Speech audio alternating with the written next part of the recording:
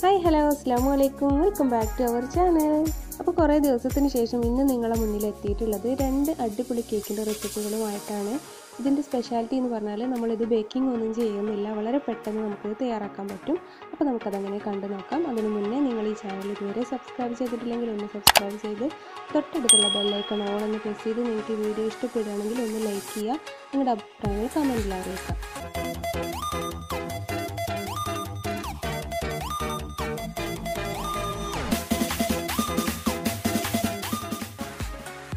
അപ്പോൾ ആദ്യത്തെ cake red velvet ആണ്. ഇതിന്റെ സ്പോഞ്ച് കേക്ക് മിക്സ് പൗഡർ നമുക്ക് ഷോപ്പിൽ നിന്ന് വാങ്ങിക്കാൻ കിട്ടും. അത് വെച്ചിട്ടാണ് നമ്മളിവിടെ കേക്ക് തയ്യാറാക്കുന്നത്.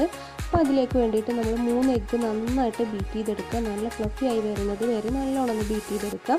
അപ്പോൾ ഈ ഒരു പരുവത്തിലെത്തുമ്പോൾ നമുക്കിതിലേക്ക് ഒരു കാൽ കപ്പ് പഞ്ചസാരയും കൂടെ ഇട്ടിട്ട് നന്നായിട്ടൊന്ന് ബീറ്റ് ചെയ്തെടുക്കണം.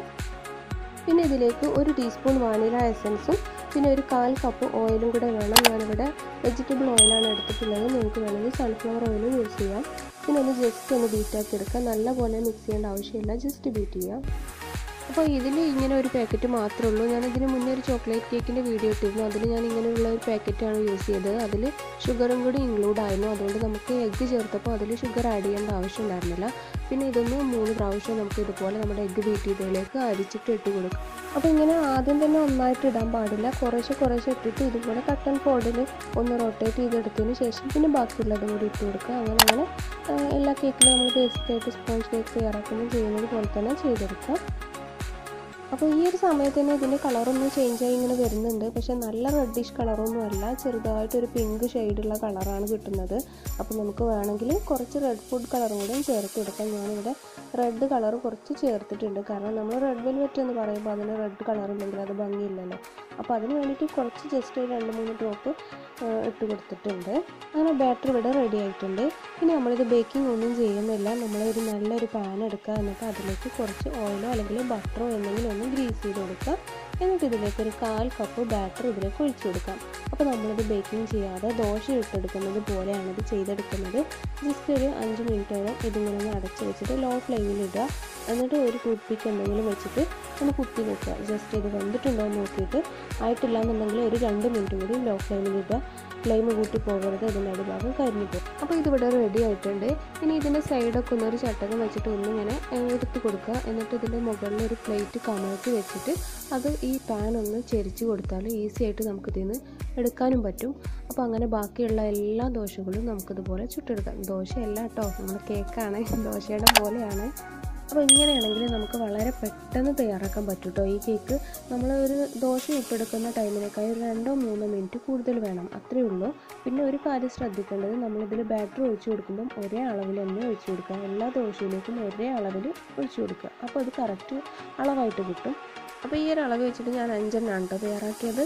പിന്നെ നമുക്കിതിലേക്ക് ഒന്നര കപ്പ് വിപ്പിംഗ് ക്രീം നന്നായിട്ടൊന്ന് ബീറ്റ് ചെയ്തെടുക്കാം. ഓക്കെ ഇനി നമ്മൾ ചെയ്യേണ്ടത് ഈ ഒരു കേക്കിന്റെ റൗണ്ട് വശം കിട്ടാൻ വേണ്ടിയിട്ട് ഇതിന്റെ സൈഡിലുള്ള ഈ ഒരു മുരിഞ്ഞ ഭാഗങ്ങളൊക്കെ നന്നായിട്ടൊന്ന് കട്ട് ചെയ്തിട്ട് നല്ലൊരു ഷേപ്പിലാക്കി എടുക്കുക. അല്ലെങ്കിൽ കേക്ക് ഫ്രോസ്റ്റിംഗ് ചെയ്യുന്ന ടൈമിൽ നമുക്ക് അതൊരു വൃത്തികേടായിട്ട് തോന്നും. അപ്പോൾ അതിരിക്കാൻ വേണ്ടിയിട്ട് അങ്ങനെ ചെയ്യുന്നത്. അപ്പോൾ ഞാനിവിടെ ഫസ്റ്റ് ലെയർ വെച്ചിട്ട് അതിന്റെ മുകളിൽ ഷുഗർ സിറപ്പൊക്കെ ഒന്ന് വെറ്റ് ചെയ്ത് കൊടുത്തതിന് ശേഷം വിപ്പിംഗ് ക്രീം കോട്ട് ചെയ്ത് കൊടുത്തിട്ടുണ്ട്. അതുപോലെ ബാക്കിയുള്ള ഓരോന്നും നമുക്കിങ്ങനെ ലെയർ ലെയറാക്കി നമ്മൾ സാധാരണ നോർമൽ കേക്ക് ചെയ്യുന്ന രൂപത്തിൽ തന്നെ ചെയ്തെടുക്കുക. അപ്പോൾ നമ്മൾ ബാറ്റർ ഒരേ അളവിൽ ഒഴിച്ചു കൊടുത്തുകൊണ്ട് എല്ലാതും ഒരേ തിക്നെസ്സിൽ തന്നെയാണ് ഉണ്ടാകുക അപ്പോൾ അത് കട്ട് ചെയ്ത് കൊടുക്കേണ്ട ആവശ്യമൊന്നുമില്ല. ഓരോന്നും ഓരോ ലെയറാക്കിയിട്ട് ഇതുപോലെ ഒന്ന് കൊടുക്കുക. അങ്ങനെ എല്ലാ ലെയറും ഇതുപോലെ ചെയ്തതിന് ശേഷം നന്നായിട്ട് ഷുഗർ സിറപ്പ് കൊണ്ട് വെറ്റ് ചെയ്ത് നല്ലപോലെ ക്രീമൊക്കെ അപ്ലൈ ചെയ്ത് ഫസ്റ്റ് ക്രം കോട്ട് കൊടുക്കുക. എന്നിട്ടൊരു ഹാഫ് ആൻ അവറെങ്കിലും ഫ്രീസറിലേക്കൊന്ന് മാറ്റി വെക്കുക. നല്ലപോലെ ഒന്ന് സെറ്റായി കിട്ടാൻ വേണ്ടിയിട്ടാണ്. അത് ഞാനിതോടെ ഫ്രീസറിലേക്ക് മാറ്റി വെച്ച് അതെടുത്തതിന് ശേഷമാണ് കേട്ടോ നിങ്ങൾ കാണിക്കുന്ന അപ്പോൾ ഇപ്പോൾ നമ്മൾ തയ്യാറാക്കുന്നത് ഹോം മെയ്ഡ് പൈപ്പിംഗ് ജെല്ലാണ് അപ്പോൾ ഇത് ഞാനൊരു സിമ്പിളായിട്ടുള്ള മെത്തേഡ് വെച്ചിട്ടാണ് ചെയ്യുന്നത്. അപ്പോൾ ഇതെങ്ങനെയാണെന്നുള്ളത് ഞാൻ അടുത്ത കേക്കിന്റെ വീഡിയോയിൽ കാണിക്കാം. അപ്പോൾ ഇതിവിടെ റെഡി ആയിട്ടുണ്ട്. ഇനി ഇതിലേക്ക് കുറച്ച് red food colour raspberry red ചേർത്തിട്ടുണ്ട്. ഇനി ഇതൊന്ന് മിക്സ് ചെയ്തതിന് ശേഷം ഇത് നല്ലപോലെ തിക്കാവാൻ പാടില്ല. ഈ ഒരു ലൂസ് കൺസിസ്റ്റൻസി ആക്കിയതിന് ശേഷം നമ്മൾ ഇതൊന്ന് തണുത്തതിന് ശേഷം നമ്മൾ കേക്കിന്റെ മുകളിൽ ഇത് മൊത്തത്തിലൊന്ന് അപ്ലൈ ചെയ്തിട്ടുണ്ട്. ഇനി ഇതിന്റെ മുകളിൽ നമുക്ക് ഇഷ്ടമുള്ള ഡിസൈനിൽ ഒന്ന് ഡെക്കറേറ്റ് ചെയ്യാം. അപ്പോൾ ഈ ഒരു കാര്യത്തിൽ ഞാൻ കുറച്ച് ബെക്കിൽക്കാണ്. എന്നാലും എന്നെക്കൊണ്ട് പറ്റുന്ന വിധത്തിൽ ജസ്റ്റ് ഒരു പൂവൊക്കെ വെച്ച് അഡ്ജസ്റ്റ് ചെയ്തിട്ടുണ്ട്. അപ്പോൾ ഇതൊക്കെ ഓരോരുത്തരുടെ ഐഡിയക്ക് അനുസരിച്ചിട്ട് ചെയ്യാം. പിന്നെ ഇതിന്റെ അടിഭാഗത്തും ഇതുപോലെ ഒരു ഡിസൈനൊക്കെ ചെറുതായിട്ട് എന്നെക്കൊണ്ട് പറ്റുന്ന പോലെ ജസ്റ്റ് ഒരു ഇതൊക്കെ കൊടുത്തിട്ടുണ്ട്. ഏറ്റവും ലാസ്റ്റായിട്ട് ഇതിന്റെ മുകളിൽ കുറച്ച് ഷുഗർ ബോൾസും കൂടി ഗോൾഡൻ കളർ ഷുഗർ ബോൾസും കൂടി ഇട്ട് കൊടുത്തിട്ടുണ്ട്. അപ്പോൾ ഇതാണ് കേക്കിന്റെ ഫൈനൽ ലുക്ക് അപ്പോൾ അത്രയ്ക്ക് അടിപൊളിയൊന്നുള്ള ഡിസൈൻ ഉണ്ടെന്നാൽ കഴിക്കാൻ നല്ല ടേസ്റ്റ് ഉണ്ട്. നല്ല രസമുള്ള കേക്ക് വരുന്നു അപ്പോൾ നിങ്ങൾ എല്ലാവരും ഒന്ന് ട്രൈ ചെയ്ത് നോക്കിയിട്ട് ഫീഡ്ബാക്ക് അറിയിക്കുക. അപ്പോൾ ഇനി അടുത്ത കേക്ക് തയ്യാറാക്കാൻ വേണ്ടിയിട്ട് ഒരു കപ്പ് വിപ്പിംഗ് ക്രീം എടുത്തിട്ടുണ്ട്. ഇത് നന്നായിട്ട് ബീറ്റ് ചെയ്തെടുക്കുക. ഇതൊക്കെ എല്ലാ കേക്കിലും നമ്മൾ പറയുന്നത് പോലെ തന്നെ ചെയ്യാം. അപ്പോൾ ഇത് എത്ര സമയമാണ് ഇങ്ങനെ ബീറ്റ് ചെയ്യേണ്ടതെന്ന് വെച്ചാൽ നമ്മൾ ഈ ഒരു പാത്രം ഇതുപോലെ ഇങ്ങനെ തിരിച്ച് നോക്കുക കമഴ്ത്തി പിടിച്ച് നോക്കുക. അപ്പോൾ അതിനൊന്നും ചാടുന്നില്ലെങ്കിൽ ഇത് ഓക്കെ ആയിട്ടുണ്ടെന്നാണ് അർത്ഥം. അപ്പോൾ ഈ ഒരു കണക്കാകുമ്പോൾ നമുക്കത് സ്റ്റോപ്പ് ചെയ്യാം. ഇനി ഹോം മെയ്ഡ് പൈപ്പിംഗ് ജെൽ എങ്ങനെയാണെന്ന് നോക്കാം. അപ്പോൾ ഇത് ഞാൻ സിമ്പിളായിട്ടുള്ള മെത്തേഡാണ് അപ്പോൾ ഇതിലേക്ക് രണ്ട് ടേബിൾ സ്പൂൺ കോൺഫ്ലോറും രണ്ട് ടേബിൾ സ്പൂൺ പഞ്ചസാരയും കുറച്ച് വെള്ളത്തിലൊന്ന് മിക്സ് ചെയ്തെടുക്കുക.